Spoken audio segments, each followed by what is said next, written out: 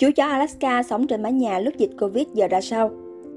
Quay về những năm 2020 đến 2021, thời điểm đại dịch Covid đang hoành hành khắp cả thế giới, mọi nơi đều ra chỉ thị không cho phép mọi người ra đường để đề phòng dịch bệnh lây lan. Thì lúc này, một cô gái đã chú ý sang sân thượng nhà bên cạnh. Có một em chó Alaska to đang sống ở trên đó. Không biết em đã ở đó từ bao giờ. Nhưng sau nhiều ngày theo dõi, cô vẫn không thấy chủ nhân của em chó đâu.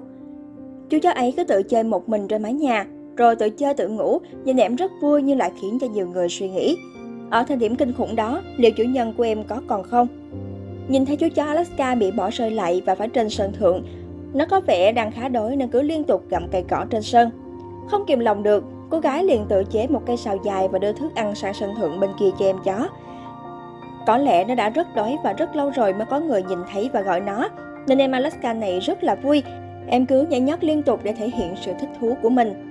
Một chú chó to khỏe như vậy chắc chắn chủ nhân không hề ngược đãi em, ngược lại còn chăm sóc em rất tốt. Cô gái lúc này chỉ hy vọng người đó bình an, còn cô mỗi ngày đều đưa thức ăn sang cho em chó. Mỗi ngày trôi qua, chú chó ấy vẫn luôn nở nụ cười trên đôi môi của mình. Có lẽ nó đã rất cô đơn và rất muốn chơi đùa, nên mỗi khi nghe gọi, nó đều nhảy cẩn lên rất thích thú. May mắn là chú chó ấy không hề kén ăn, nó có thể ăn tất cả mọi thứ mà cô nàng mang qua.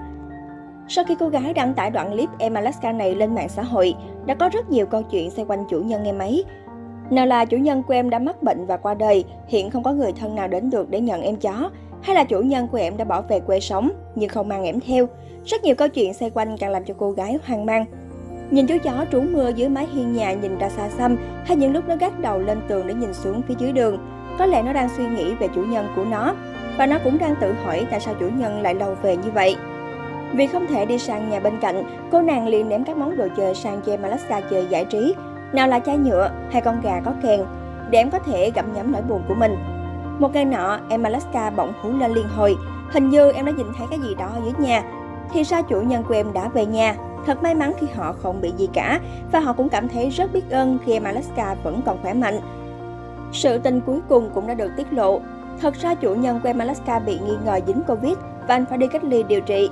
Chị vợ là người duy nhất còn lại trong nhà cũng phải đi cách ly vì mình là F1. Sau khi cách ly, lệnh giãn cách xã hội có hiệu lực. Họ lại đành ở lại khu cách ly mặc dù rất sốt ruột. Hơn thế nữa trước khi đi, chị vợ đã để lại rất nhiều hạt ở trong nhà. Phải nói là rất nhiều, nhưng khi về nhà họ phát hiện đống hạt vẫn còn y nguyên. Lúc này đôi vợ chồng gần như sụp đổ vì nghĩ chú chó cưng của mình bị gì rồi.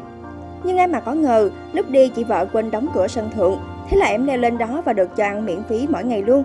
Mặc dù hơi báo, nhưng dẫu sao ẻm và chủ nhân đều bình an là được đúng không nè? Nhớ ấn đăng ký kênh để xem thêm các video hay tiếp theo nhé!